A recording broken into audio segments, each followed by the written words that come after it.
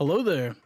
So I made a previous video on how to texture in Substance Painter for Second Life, and currently that's a little outdated, so I'm going to do a new tutorial in 2023 to show you how I do it now, which is even easier than it was before and provides better results. Uh, so yeah, let's get right into it. I'm gonna go to Blender. I have my model here already done. And I've already uh, marked all the seams that I want to uh, unwrap the model with for the UV map. And uh, you'll have to do a different tutorial to figure out that stuff. Uh, maybe I'll make a tutorial uh, to do that.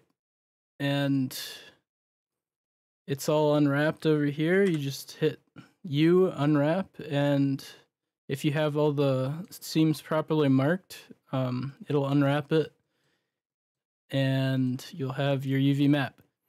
I also want to state that you can have multiple textures in one Substance Painter file that you can texture simultaneously. So uh, if you have this top part and the bottom part, you want it to be different textures for the top and the bottom, then you can do that. You just have to uh, select the top part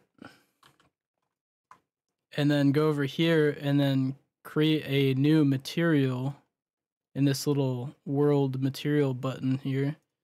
You create a new one, you click new down here, and then you assign. And we don't want that, so we go back into object mode and hit minus to get rid of that one, and we assign it to top. And then we assign the bottom one to bottom, and now they will have their own texture. You unwrap that and then you select the bottom and unwrap that one. And now they have their own textures and they are UV mapped and ready to go into Substance Painter. We just uh, save as, we'll call it leather mask medieval. Sure, why not? Save and export as FBX. Save it into like an FBX mesh folder, same thing, export. Now we're going over to Substance Painter. This is a fresh Substance Painter. Uh, we go to New, File, New, and up here we select the mesh. So we look for leather mask. Yep, there we go. Let that load in. All right. At this point, you want to look for anything that might look a little off because that will tell you that your UV map is wrong or there's just like, not that it's wrong, but like it's just not optimized properly. And then what we do is we go over to texture set settings It'll look like this. There will be a Bake Mesh Maps somewhere towards the bottom button. Click that. Uncheck ID. Uncheck Average Normals. And set anti-aliasing to 8 by 8 And then Bake Select Textures. That's, uh, that's how I get my models ready. And now it's ready to texture. Okay. Now, in this current material view, I'm using a environment map, the panorama default. We want to set this to a custom two-sided panorama so that the front and the back are both evenly lit by a light source. And this is the the ultimate trick to getting some really nice looking uh, textures. Because when we export, uh, we're going to be using this 2D view as the texture with materials and everything. We don't go into base color anymore and play with light filters. Now that we have this environment that's two-sided, we don't need to do that. So now that we have this all set up, we can start actually texturing it. So we delete that. And this is a leather mask, so we just type leather. And we'll find a leather texture that looks good. Maybe I'll start with the top part first.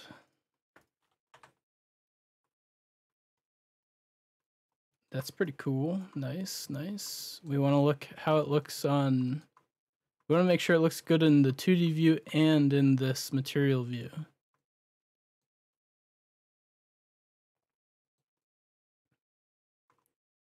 Maybe adjust some of the colors. I won't get too into it. You know what?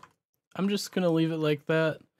Uh, say we have this leather, we want to add black mask, and then click on this left side here, the square button, and this will let us assign uh, specific parts of the mesh, so we don't, you know, get that part, uh, these little uh, ties.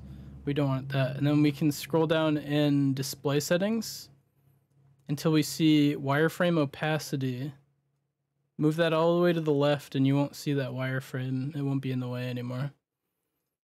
And uh, another texture that we want to add to the ties would be some kind of fabric. I believe this is the one I want to use. So we put it on top of the leather and then also add black mask and check that and check this for UV or this for entire objects. So if I click an entire object, that whole object will be selected. And we just go in and add that there. Adjust the scale a bit of this texture. And let's just say that's how I want that. And we can shift select these two to grab them and hit control C to copy. Go to another material layer for bottom and control V to copy paste and then add black mask, add black mask. And then you want you want to make sure this white for uh for when you want to add a texture, you click when it's white to add you slide it over to black to remove. So we're adding the ties back in and now we're adding the leather back in. And this is pretty much good to go. I'm obviously going to spend more time finishing this and making it look nicer than that, but this is just a basic uh, how to texture tutorial.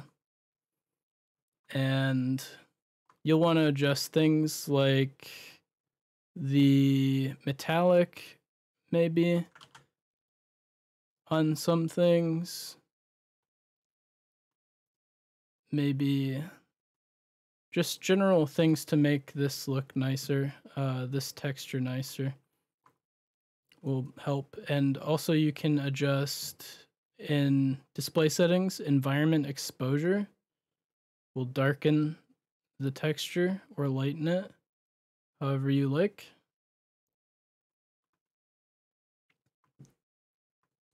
And uh,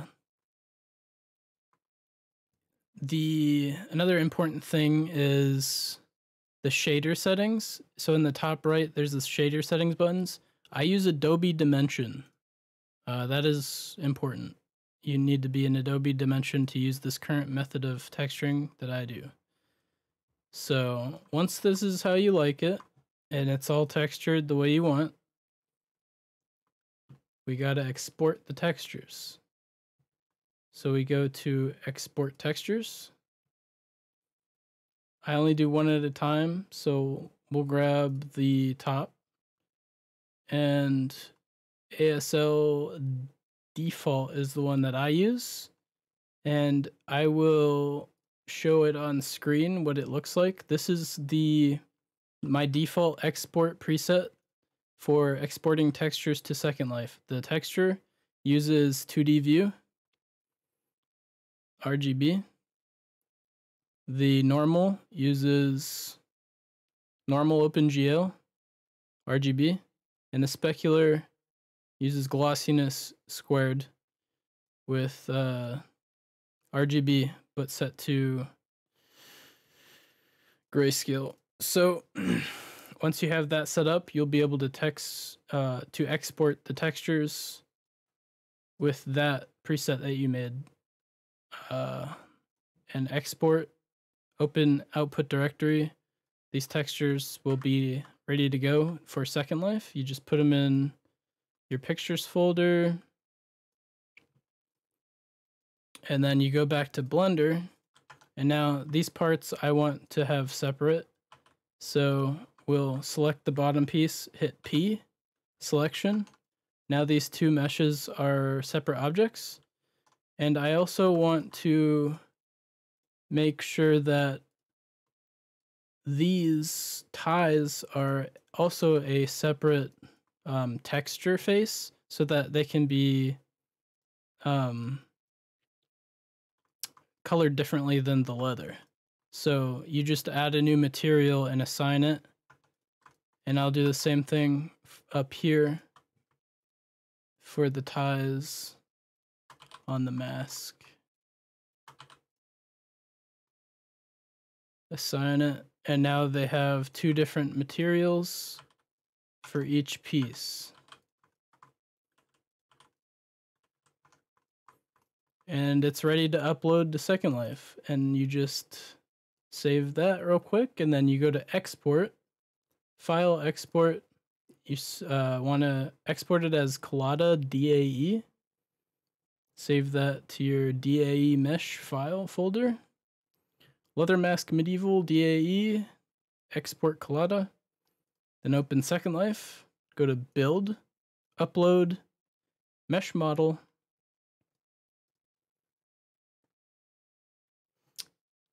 and Leather Mask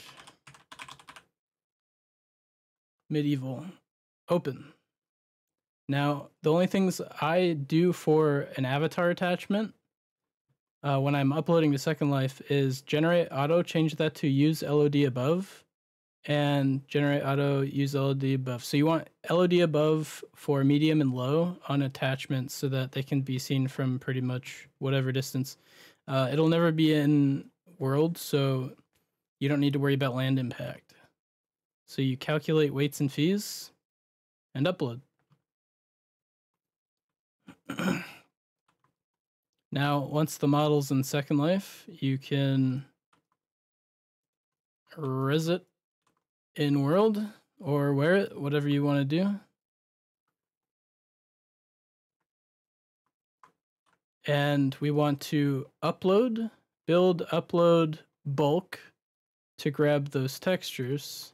These are the three textures for the top piece and then select the top piece and drag the texture to the texture slot in the texture menu.